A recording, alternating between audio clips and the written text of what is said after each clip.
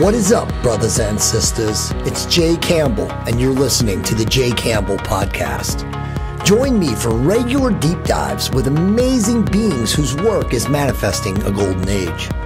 And remember, you create your reality by your focused thoughts, conscious words, and intentional actions. Raise your vibration to optimize your love creation.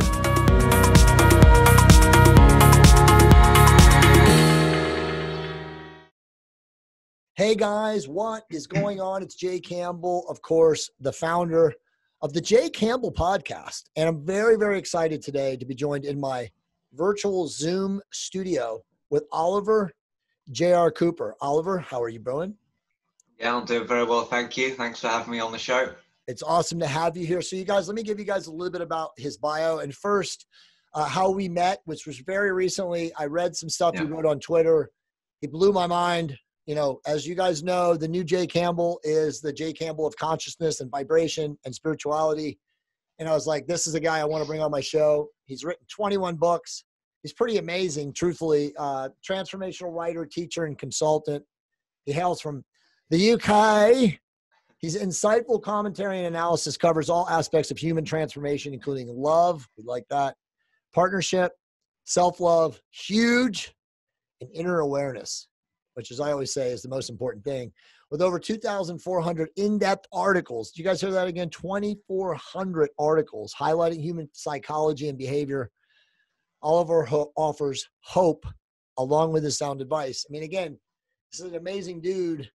And thankfully, the universe, through the demonic social media infrastructure of Twitter, brought us together, which is again just how the universe works. So, man, Oliver, it's an honor and a, hump and a blessing to have you here. How did Oliver J.R. Cooper get on the Jay Campbell podcast? Well, I think that you replied to another uh, tweet on there. And then after that, I shared something, a short comment, and then shared a video. And then to my surprise, you ended up messaging me and giving me the very generous offer of appearing on this podcast. And instantly I thought, yes, I want to be a part of that. And within a very short period of time, I sent you an email and we set that up. And it just happened, as you said, very quickly. And it's a great honor to be on your show today, Jay. It's an it's an honor to have you, man. I mean, 2,400 articles, 21 books. I mean, that's amazing, man. I mean, you're definitely connected to what I call it, you know, divine still light, the creative energy of source. Um, because you can't be not connected to be able to write that prolifically.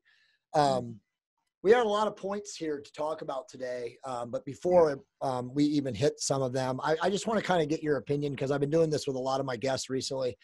Yeah. What, what is your opinion of what is going on right now? Like, with you know, obviously we're all dealing with this whole shutdown and COVID and all the nonsense mm. that's going on with it. But what is your just very surreal, very visceral interpretation of what is really happening to the human collective right now? Well, I think one way of looking at it would be to say that there's the collective unconscious, and obviously all of our own consciousness is feeding into that.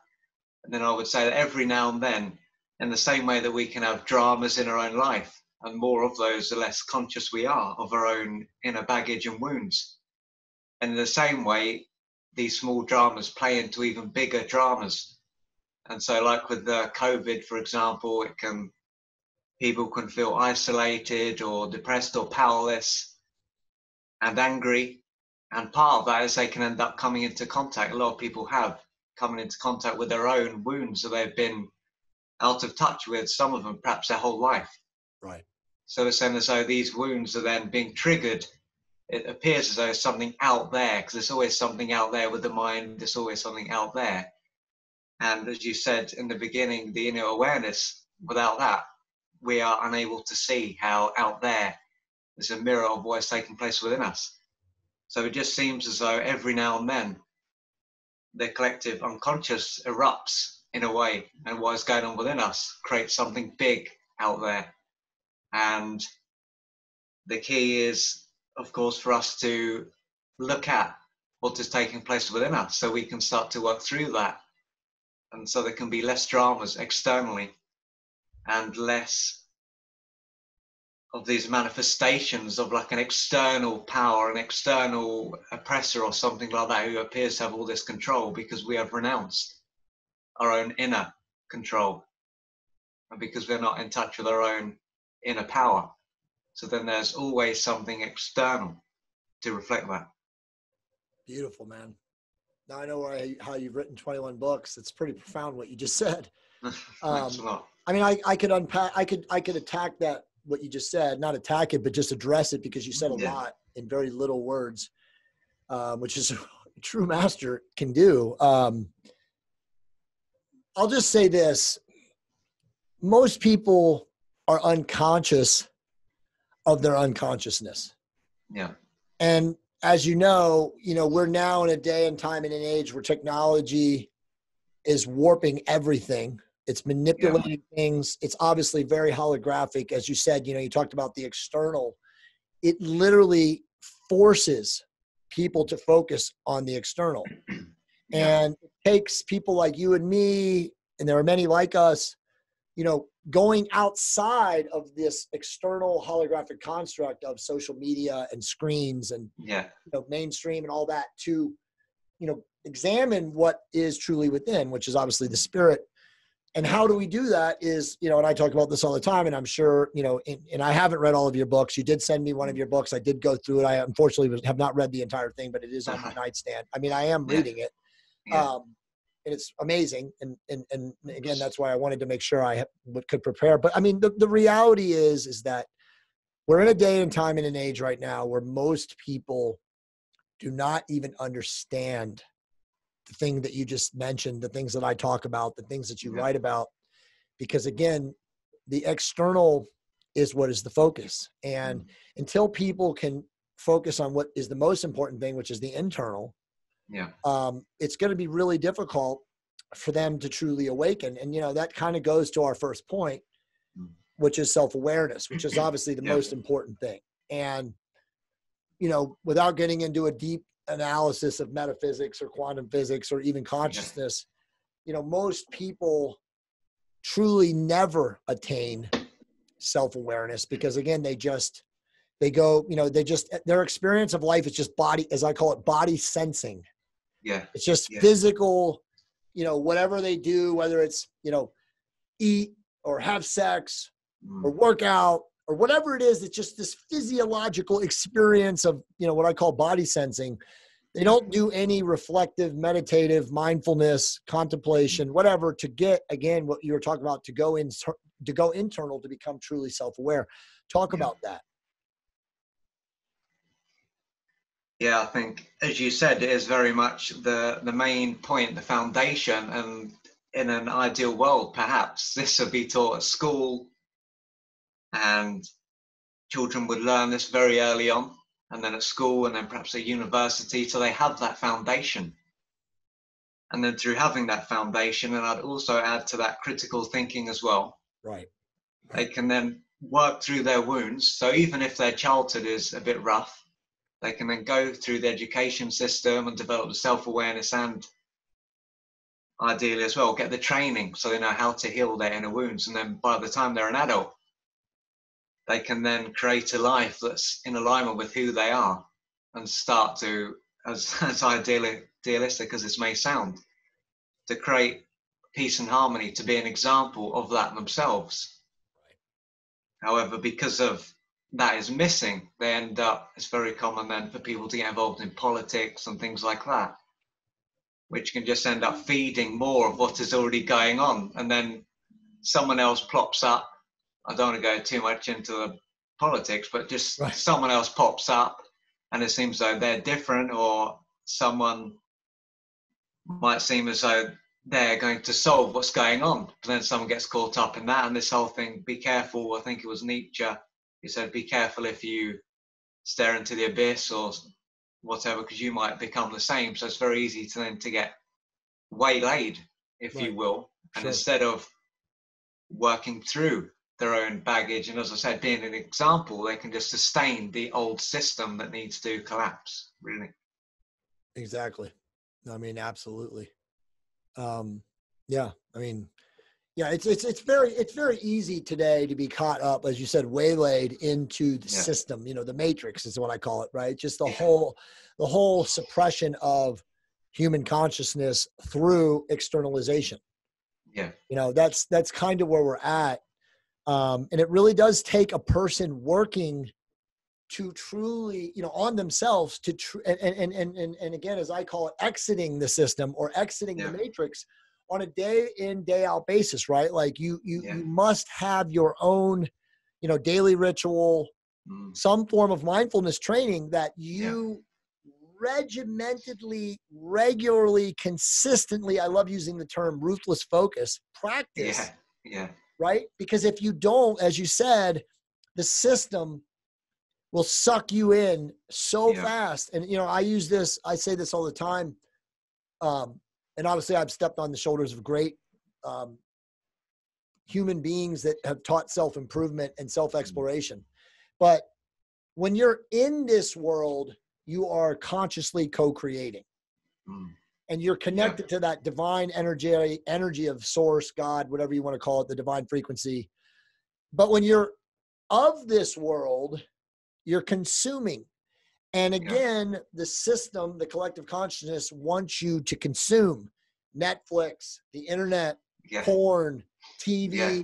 the mainstream news culture it never stops but Mm. when you are creating and again i say consciously co-creating Yeah. you're not in that you're not absorbing that you're not consuming anything that they can train you and program you you are literally creating other things hopefully that other human beings you know have benefit by reading or observing you know whether you're a painter a sculptor a writer an author so it's like Yeah. when you understand that how you really separate yourself as a being in today's day and age with so much um, disinformation and saturation of externalization, um, you really can quickly learn that you don't have to be caught up in that stuff, Oliver. Mm. And again, it's there's not enough of us, you know, really truthfully talking about this, and there's obviously less of people seeking those pursuits. You know, again, most Yeah. people today want, and again, technology makes it so easy. They want to choose the the the you know the least difficult task or the least difficult um, you know plan of maneuvering. You know, again, Mm. how do I exist on a day in day out basis and make it as easy as I can, Yeah. right? And Yeah. that's and, and again, as you know, most people Mm. choose the easy way out or the easiest Yeah. path or the path of least resistance. Yeah, and and I think this comes back to what I said earlier on. Is if if someone is in pain, let's say from the word go, so they had a lot of pain when they were younger, then there's more pain, and obviously we all have this need to experience pleasure over pain. That's obviously hardwired into us, but with awareness we can see, okay, this might be pleasurable, but where's it going to lead? Right. And of course, the more pain someone is in, the more they're likely to be trapped in these nets that are all around us, whether it's porn, whether it's food, whether it's entertainment. There's always something out there that Right. is going to appear so enticing because it gives someone who's in pain a way out. Right. Yeah. It's very, very profoundly stated.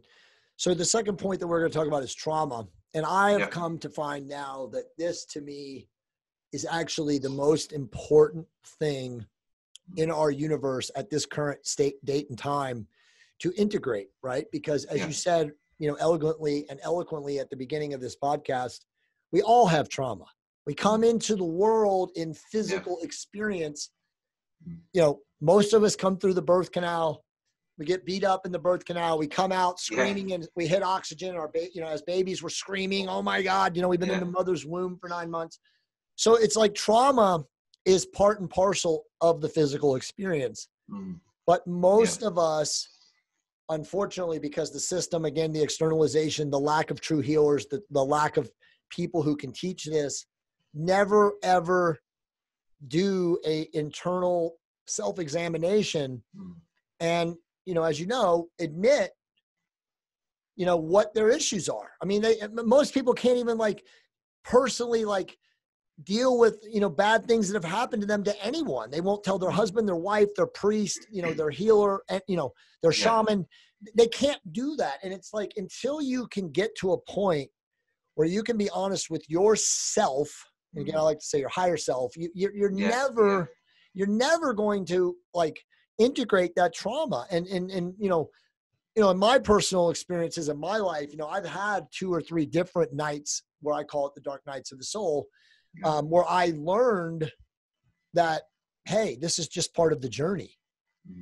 And many people, because it goes back to that first point, and I want to get your opinion on this, but many people who are afraid to take chances and never deviate off the easiest, you know, the path of least resistance, they never really, yeah. um, Oliver, they never really experience the point of great suffering that is the transformational moment. Yeah. So they never get there, right? So it's like, how are they going to integrate trauma when they don't even accept the idea that they have trauma? Hmm. Yeah, well, I suppose again, it's because there is so many options in society to be distracted, and obviously, what happens with trauma is that we can forget that we're forgotten. So someone can end up living basically in their head and be dead from the neck down or the hips down. And with the defenses of the ego, projection or justification or displacement or splitting, whatever it may be, the issues are then always external. So it's this person, it's the president, it's whoever it may be, it's the wife, it's the girlfriend, there's always someone out there. And this then prevents the individual from going within and saying, well, these are actually my mirrors. But again, living in a society that has always got a reason why. So your life is like this because of this person, because of the government, because of a virus, because there's always something out there and then prevents someone from looking within. And they then have no concept that there is an inner world and their outer world, so called outer world, is mirroring their inner world. But just to be clear, I think defense mechanisms are simply neutral. In a way, they are there to show us because we can't, when it comes to self awareness, we can't look within directly. We have to do it indirectly. Right. And so we do that by becoming aware of our defenses and then be, through becoming aware of those. Obviously, we need to have an understanding of them. Then we can go within. So, okay, I keep meeting people that are always angry. Okay, perhaps I'm the one who's got anger problems. And then we go in that way. Beautiful. Yeah. I love how you're talking about your your internal mirror. You know, because I always say the same thing. You know, everything that we push out, and this gets into the whole quantum physics understanding of how you know reality creation is always happening. Yeah. But you know, everything that we see without is a projection of within. Hmm. And like you said, you know, like it's really when you say something negative or antagonistic or you know mean spirited to someone else that's how you truly feel internally that you're going to manifest that externally. Yeah. And people are so, you know, especially in today's society right now, if we were to talk about like, you know, the current events of like yeah. The, the Black Lives Matter and the protesting and the, the horrible violence and the burning down buildings and the removing of and defacing of monuments and all of this insanity. Yeah. It all goes back to what I call the victimhood vibration, mm. which is yeah you know, on the Hawkins scale, you know, you're down here below the line of integrity. I mean, look at this grief, apathy, guilt, and shame are the four lowest points, again, on this quantitative scale, whether this these numbers mean anything or not, it's still root chakra. Yeah. But I mean, yeah. again, grief, apathy, guilt, and shame. And that's what they're forcing on massive amounts of people yeah. in the population who, as you know, Oliver, are already not doing any self introspective work, not mm-hmm. understanding that it's okay to have guilt and shame, mm-hmm. not, you know, integrating it or, or even attempting to integrate it because, again, a lack of recognition, lack of self awareness. So it's like yeah. this giant, again, I call it the victimhood vibration, is like kind of now encircled or ensnared the globe. Yeah. It's because these people refuse to accept that this is wrong. That this yeah. is not healthy. Your thoughts? Yeah, well, a while ago, I, I wrote an article about this, about personal power. Sure. And in there, I said, when it comes to, per- I mean, personal power, big part of that is the third chakra, of course. The, the yellow chakra there, which is the ego, the inner child, it's all there. Sense of self. And when that part of us is not in a good way, and obviously the root and the second one as well, if the third is not good in a good way, those two are not going to be either. But when that is not in a good way, and someone is in that place, and to them, because of the level of consciousness they are in, right. they're either a victim or they're a perpetrator. So their whole worldview then is either everyone else is either a victim or they're a perpetrator, Right. and then that is it's the area of power games, ego battles, and as you're saying, that's what we are seeing now, the manifestation of that Right. in society, and the ego, the victim mentality is obviously highly addictive, ah, yeah. and be and another thing as well coming down to that you said about the shame. Shame has got to be one of if not the most painful feeling to experience. Right. so then to avoid that is usually rage. And you've seen a lot of people now they're full of rage they're full of it because obviously when someone experiences shame they feel deflated emotion emotionally collapse Right. they're in a very bad way no energy but when rage kicks in now they feel great they can even feel self-righteous they feel strong there's no collapsing there but again it's just another defense and then that shame ends up being projected onto it into other people and through splitting other people are demonized but they're great so it's this black and white thinking again and then just going up to the green the the fourth chakra there Right. there's uh, no heart no empathy no compassion with that either because they're that's probably closed and then that shame probably goes back to what they experienced as a child as well Exactly. So it's uh, indirect revenge, I call it. When other people or buildings get destroyed, they're really these people and buildings, in a way, like the the representations of perhaps their parents or someone who bullied them. Right. But because they're not the original source and they're not dealing with the original wound, they will never have enough revenge because they're not dealing with who really harmed them. Well, very, then- very well said. Right. So, I mean, the entire world right now, and I'm, you know, this is obviously there's outliers, but you know, to summarize, it really is just a gigantic cesspool right now of unintegrated trauma. Mm. Right. That's where we're at right Yeah. now. It's like the dark. It's like the collective dark night of the soul is happening Yeah. for many, many people on this planet. And you know, you and I could probably make an argument that it's this is beneficial in the long run because Mm. people are going to have to choose Yeah, you know are you willing to integrate to go within to go beyond to self-examine Yeah.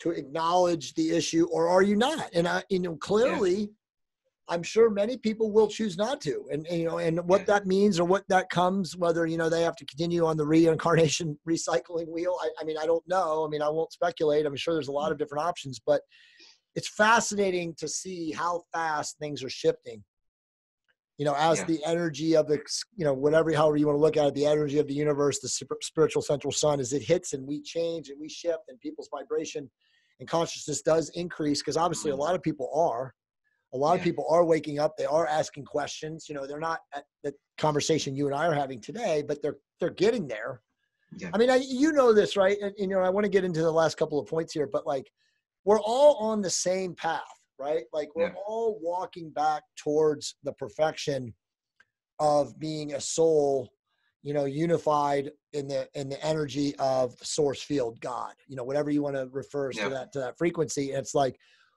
you know, once you recognize that we're energy, you know, we're not these physical bodies. We're our Yeah. spirit, our soul, our higher self you know, I always tell people if they want to physically, you know, um, comprehend it, they think of like an energy orb, you know, like a Right. ball of like whirring electrons. That's really what we are. We're not these, you know, meat suits, these flesh puppet bodies. I mean, this is what we animate, you know, through consciousness and will and intention, but we're not these bodies. And it's like when you learn that, you learn, you know, energy doesn't die, it just mm-hmm. continually, infinitely expands.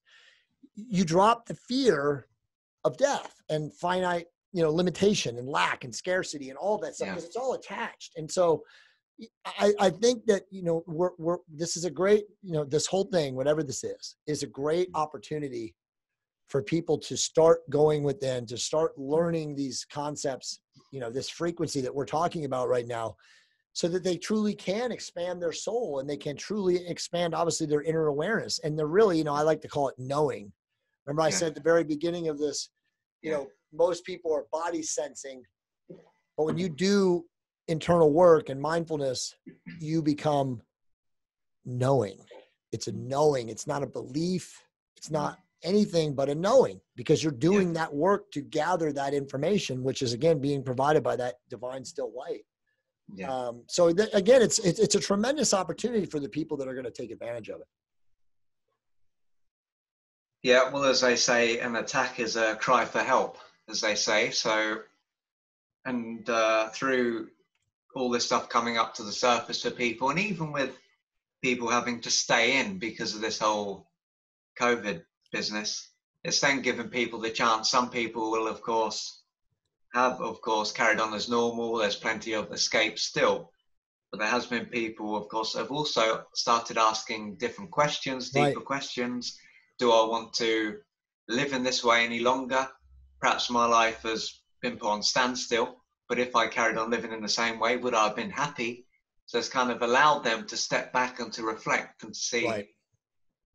what is what do I need to do to and, and and I think this whole thing of although we we can never die, but I think keeping in mind that sometimes this form will die, right, and that can allow us to think what matters. Yeah, what truly matters. What does truly matter? And before you answer, my wife taught me this. You know, I have a very, I'm blessed. I have an amazingly spiritually aware, aware and advanced soul uh, being wife who's been a great spiritual mentor of me, but she said, and I, I'm sure you agree, but she's like, yeah. two purposes of, of, of man while yeah. here in physical incarnation to give and to receive yeah. love. Hmm. You agree? Disagree? Yeah, I'd say so. I'd say so, yeah. Very much about service and to create as well, to create, to see that we are creators and to for it not to be just all one big workathon and to enjoy creating and giving and to have a bit of fun on it. Yeah, yeah, yeah. Creation, cr- conscious co-creation, and joy. Yeah. You know, if you if you if you can just stay in that field or that frequency every day and laugh and smile and obviously you know yeah. when you're with loved ones to enjoy the time with them. As you know, so many of us get caught up, especially when you're a really big creator, which I create a lot of content, you create a ton of content. Yeah. We can kind of get caught up in the content creation sometimes mm. and not the vibration of physical affection or interaction with human beings. So there is a balance and stuff like that. But yeah, I mean, yeah, that's total. That's truly it, man. So the, the last couple of points I want to share with you, and then I want you just to kind of give me your summary of where we're going. Um, mm what in your opinion is from a strategy standpoint or a best practices standpoint what is the best ways for people to increase their self-knowledge and their focus well i think one thing i recommend is to spend time in nature because through being in nature and to either leave their phone at home or to have it switched off because then there's no distractions. If we go into nature, there's nothing there trying to say, look at me, give me attention. And so we can then go within. And it's a gradual process. But of course, if someone is carrying trauma and they're then blocked off from the neck down, they may need to start to work through some of their trauma just to start opening themselves up and to remove the layers, to remove the armoring that they have developed over the years to avoid feeling. And so going in nature, working through their trauma as well to gradually and to, and to see, because to me, self-awareness is, again, it's a process just like anything else on this planet. We need to eat every day or consistently. We need to breathe all the time, of course. Right. And just our self-awareness, I don't see it as something we are, get to a point where we have complete self-awareness. We're always going to have blind spots, but it's just like a daily practice just like cleaning and eating or going to sleep. It's got to be a daily practice. Yeah, I mean, very well said. Um, you know, I agree, hundred percent. Nature. You know, yeah. I always tell people that that that's that nature is God. That really is yeah. the energy of nature, uninterrupted. But as you know, again, it takes, like you said, practice. It's a mm-hmm. process of learning to silence the mind, of learning, you know, whether you do meditation or contemplation or maybe a practice or a combination of both. Mm-hmm. Again, to attain that stillness where you can then connect with that frequency of divine, Yeah. you know, energy, which again is nature. I mean, I always say to people like, you know, who are, you know, what I call just not walking the path, truly lost, and but wanting to improve and wanting. I say, look, just go into nature, turn off your damn phone, don't have your binaural beats on. Go into nature and listen to the birds, listen Yeah. to the wind blow, listen to the mm-hmm. trees and the leaves rustle. Yeah. If you have animals, hopefully dogs, whatever, take them into nature with you and watch them interact with the grass, the ground. Obviously, you should be grounding while you're in nature Yeah. take off your shoes and your socks, you know, get in a stream, put your feet in the mud, put your feet in the grass. I mean, every single day of my mm-hmm. life. I'm in my backyard for at least 45 minutes, sometimes only 30 depending on the day, but you know, that's, Yeah. that's a part of my life. My watching my animals, being connected to them, listening to the bees, listening to the birds. That's a part of my life every day. I mean, I, I couldn't imagine not doing that Mm. you know and as you know and, and and as we're both aware so many people have no connection to nature they're so you know enslaved into this externalization of just Yeah. going to the office and sitting at the cubicle and plugging into the internet and doing whatever you got to do that is just it's just it, it- there's no understanding of how important connecting to all that is Yeah, I think you made a good point with the grounding because so much of today's world's computers, phones, it's all very heady. It's all very much being in the head, stimulation, whether it's caffeine or another stimulant, it's all very up. It's not very much in the body. And right as you're saying, with grounding and leaving all these stimulants at home, right and then we can start to get more into our body. But of course, this is a process. It's not something that's going to happen on a, a weekend course or even a few weeks, even though it can seem that way. And uh, it's a process, yeah. Yeah, man, totally. This has been a profound podcast. It's a pleasure speaking with you. Um, if, people want, if people want to work with you, Yeah. uh, connect with you, you know, online or obviously buy your books or anything, like where's the Yeah. best place? Where's the best place for me to have them go? Uh, The best place is www.oliverjrcooper.co.uk and consultations and books and courses and an audiobook, all different things are available on there.